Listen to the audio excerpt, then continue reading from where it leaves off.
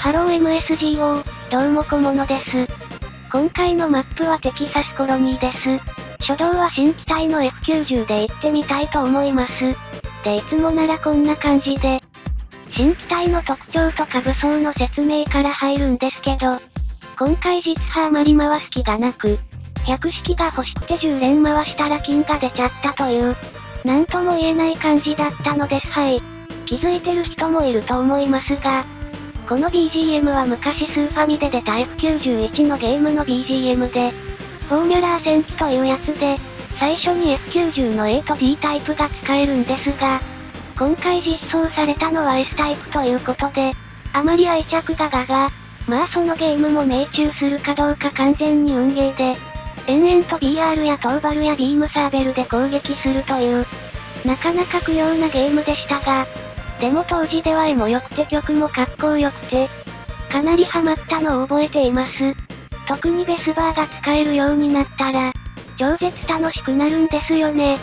そしてたまにビームライフルやベスバー攻撃で、敵機が謎の真っ二つになるという仕様で、疑問に思いつつもそれが快感やったんですよねとそんな思い出話してる場合じゃねえ。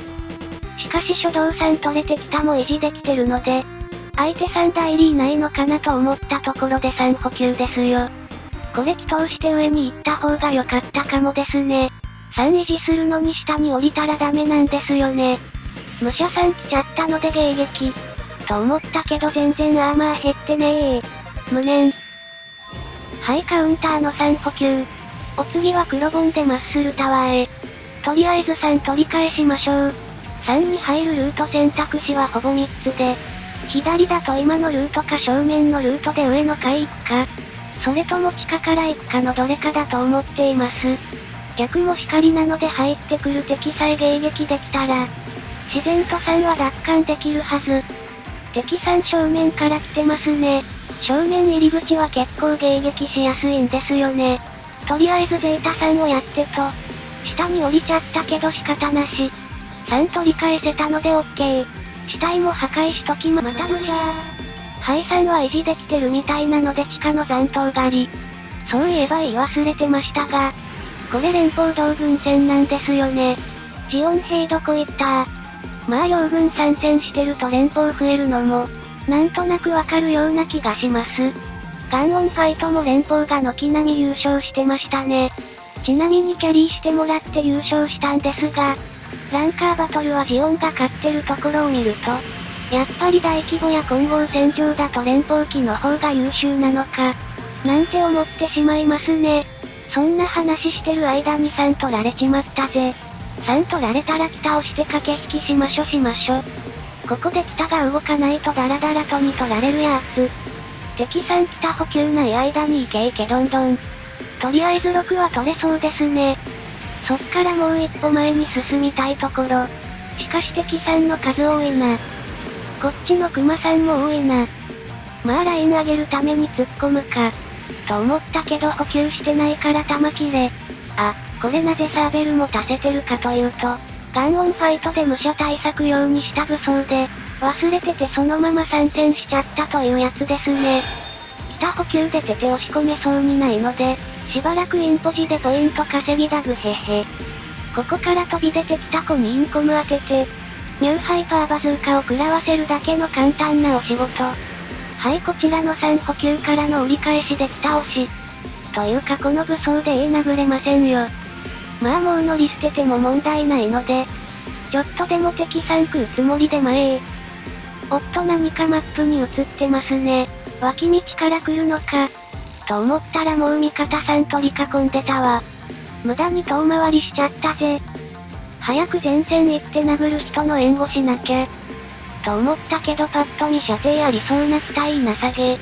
まあここまで来て引き返すのも無意味なので、ちょっとでも道連れにしていきましょう。おっと武者は許すなぁ。はいオッケー。敵さんだいぶ押し返してきましたね。もうこれは後やられ待ちなので、せめて誰か一機でも道連れにしたい。君に決めた。ああ、格闘外しやつ。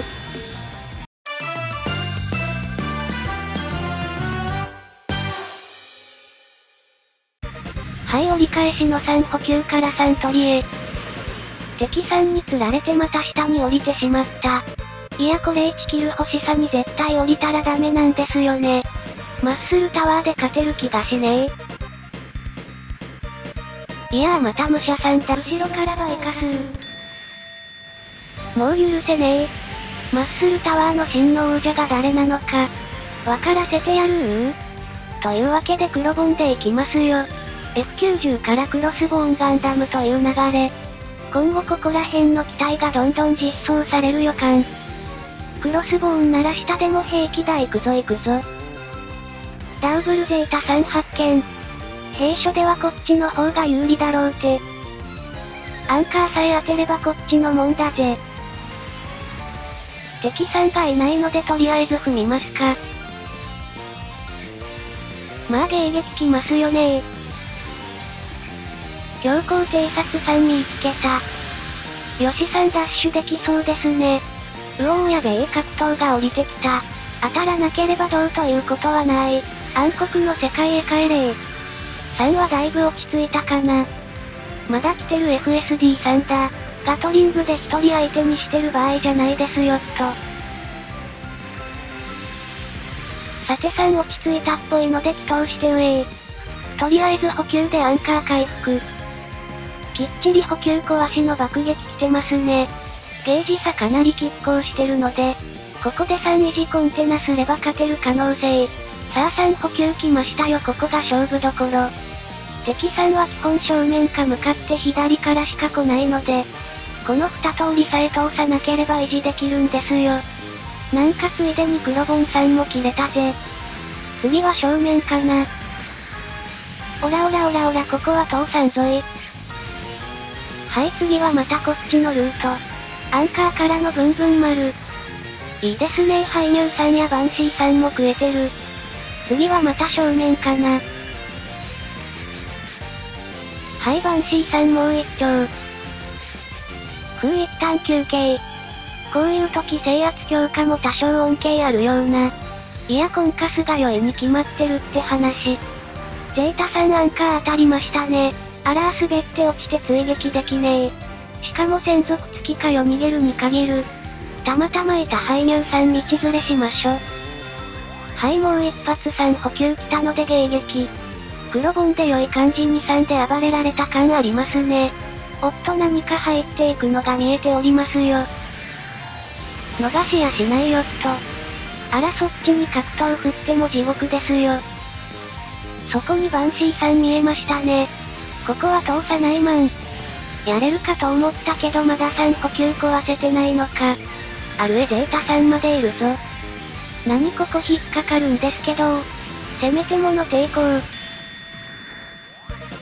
はい逆転できたのでラストは F93。3も維持できてるので残党狩り。あとはコンテナ入れつつ KD すれば勝てるかな。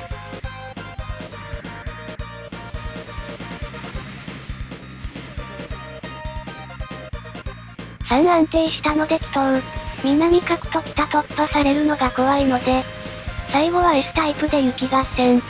弾幕多少晴れますが銃撃と思うにしては、火力と AP がちょっと少ないので厳しいところも。まあ装備変更してさっと逃げたりもできますね。案の定南角でしたが時間もなさそう。ラストだけ北突っ込んでくるパティン。まあ北抜かれてももう残り時間ないですからね。というわけでゲージリードしたまま。試合終了。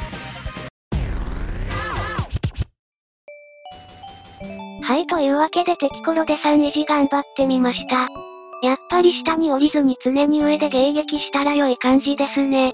F90 に関してはちょいちょい乗ってるんですが、2連こそ強いものの火力や AP や足回りが、ちょっと物足りないような気もします。自己完結するならサーベルも足したいところですが、それにしてはコストが安くないところもネック。ではまた次の動画で。まったねー。